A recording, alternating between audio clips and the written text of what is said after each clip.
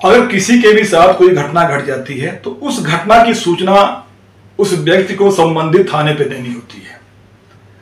और अगर वह घटना जो है, वह कॉग्निजेबल ऑफेंस के अंतर्गत आता है तो उस मामले में जो संबंधित जो थाना इंचार्ज है थाने के, पुलिस स्टेशन के, उनको मुकदमा पंजीकृत करना होता है और मुकदमा पंजीकृत करने के बाद उस मामले में आगे की कार्रवाई करनी होती है।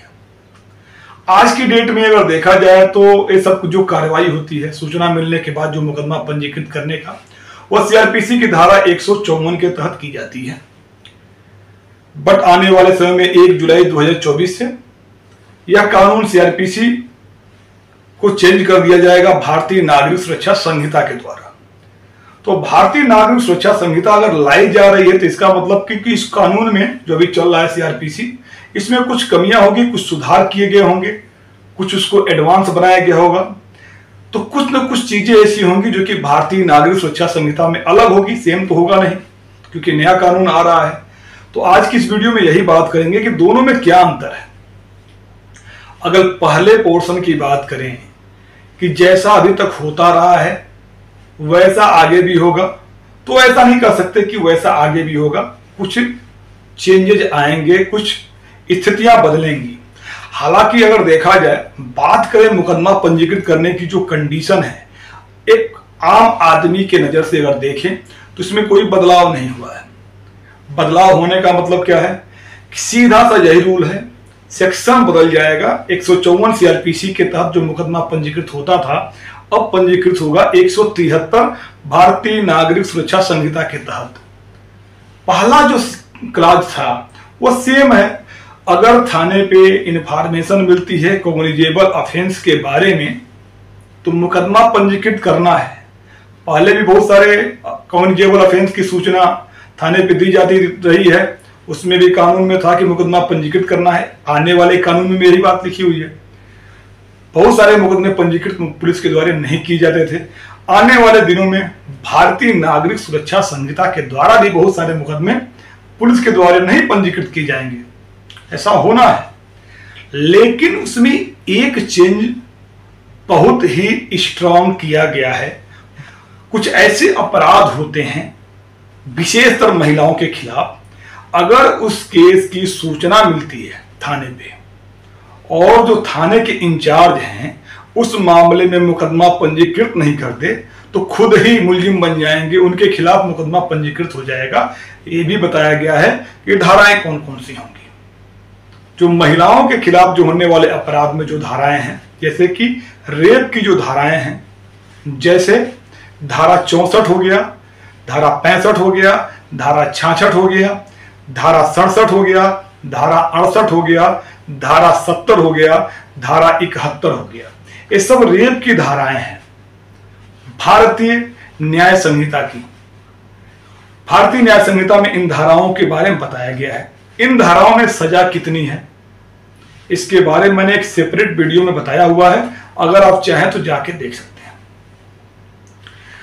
अब इन धाराओं की सूचना इसके साथ साथ अगर महिला के साथ किसी तरीके की छेड़खानी की जाती है, बदतमीजी की जाती है तो उसकी जो धाराएँ हैं, जो महिला के साथ अदर कोई भी अफेंस किया जाता है, जैसे कि धाराएँ चौहत्तर हो गया, धारा छिहत्तर हो गया, धारा सतहत्तर हो गया धारा उन्यासी हो गया।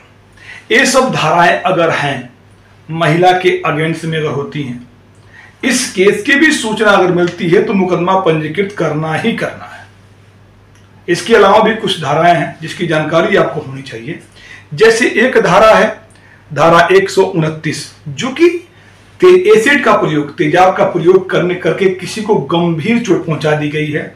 उसकी सूचना या मानव तस्करी की सूचना 143 के तहत और 144 की जो धाराएँ हैं। मानव तस्करी के लिए किसी को शोषण किया जा रहा है। जो मैंने बताया जिन धाराओं के बारे में, अगर इसके से संबंधित सूचना पुलिस को मिलती है और अफसर इंचार्ज जो हैं पुलिस के, इस मामले में मुकदमा पंजीकृत करके आगे की कार्रवाई अगर नहीं करते हैं तो वह उनके खिलाफ मुकदमा पंजीकृत होगा, वो होगा भारतीय न्याय संहिता की धारा एक सौ के था। अब करवाना कैसे है? कोई अगर शिकायत लेकर पहुँचा, कोई इंफॉर्मेशन देने थाने पहुँचा, वहाँ से भगा दिया गया। कुछ नहीं करना है। 112 नंबर, पुलिस कंट्रोल रूम में फ़ोन करिए। फ़ोन करने के बाद आप उनसे कहिए कि मैं अपनी बात को बताइए कि हमारे साथ ऐसी घटना घटी है और मैं उसकी सूचना देने थाने पे आया था। यहाँ पे मेरी सूचना को दर्ज नहीं किया जा रहा है। आप मेरी शिकायत को दर्ज करिए। दर्ज करने के बाद उसका डीडी नंबर मुझे दीजिए या मेरी कंप्लेंट रेफरेंस नंबर मुझे दीजिए। आपको जब कंप्लेंट रेफरेंस नंबर मिल जाएगा, उस उस कंप्लेंट रेफरेंस नंबर को आपको अपने पास कहीं लिख लेना है और आपको जितना जल्दी हो अपनी कंप्लेंट को टाइप करा के या हाथ से लिख के साइन करके जो सुपरिटेंडेंट ऑफ़ पुलिस हैं या अगर मेट्रोपॉलिटन सिटी में आप रहते हैं तो डीसीपी जो हैं उस ज़िले की, उनको भेज देना है। स्पीड पोस्ट से भेज देना है। अपनी इंफॉर्मेशन जो घटना आपके साथ घटी है, उसको तो भेजना ही भेजना है। एक अलग से उस थानेदार के अगेंस्ट में धारा एक सौ निन्यानवे की कंप्लेंट भी लिख के लिख के अलग से सेपरेट देना है। इन केस वहाँ से भी किसी कारण से कोई सुनवाई नहीं होती है। एक सौ पचहत्तर तीन के तहत कोर्ट में जाइए और इमीडिएट जितना जल्दी हो सके आप कंप्लेंट केस फ़ाइल करिए। डेफिनेटली आपके मामले में मुकदमा पंजीकृत होगा, सिर्फ़ आपके मामले में नहीं होगा। जो थानेदार महोदय हैं, उनके खिलाफ भी एक सौ निन्यानवे भारतीय न्याय संहिता के तहत मुकदमा पंजीकृत होगा। उम्मीद करता हूँ दी गई इंफॉर्मेशन आपको समझ में आई होगी। फिर भी आपके कोई सवाल है, कोई सुझाव है तो मुझे कमेंट बॉक्स में बताइए।